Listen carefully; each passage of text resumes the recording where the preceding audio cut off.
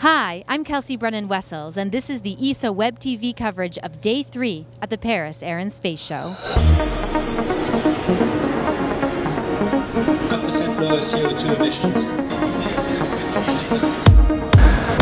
Wednesday morning saw the launch of the Space Exploration Masters, an international competition that aims to foster business innovation around space exploration activities. The specific objectives are to nurture innovative research and development to enable the ambitious future exploration missions while also addressing global societal challenges. The second objective is to engage new actors in space exploration, also from the non-space industry.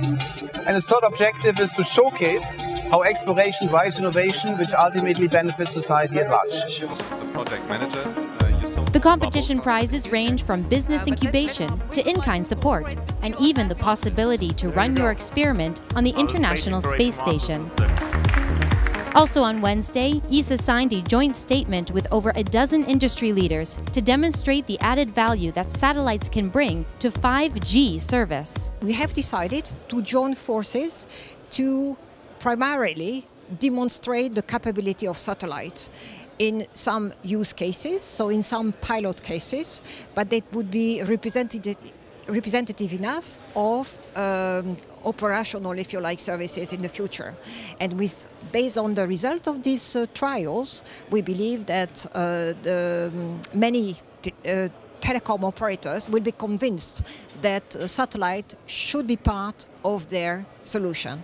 Networks will be in the future more complex than in the past. They will, they will probably be based on a mixture of technologies, including satellites. In the afternoon, the ESA Pavilion was visited by Zuhal Demir, the Belgian Secretary of State for Equal Rights, Disabled Persons, Scientific Policy, Urban Policy, and Fighting Poverty. The day wrapped up with a discussion on the integration of space into global industry and economy. ESA's Director General and colleagues presented the Grand Challenge, which aims to trigger business in Europe by inviting entrepreneurs and startup companies to exploit ESA's resources to address their specific challenges with unconventional and disruptive approaches. The replay of this and many more of this week's events are available to watch online, so check out our website at www.esa.int. Have a nice day.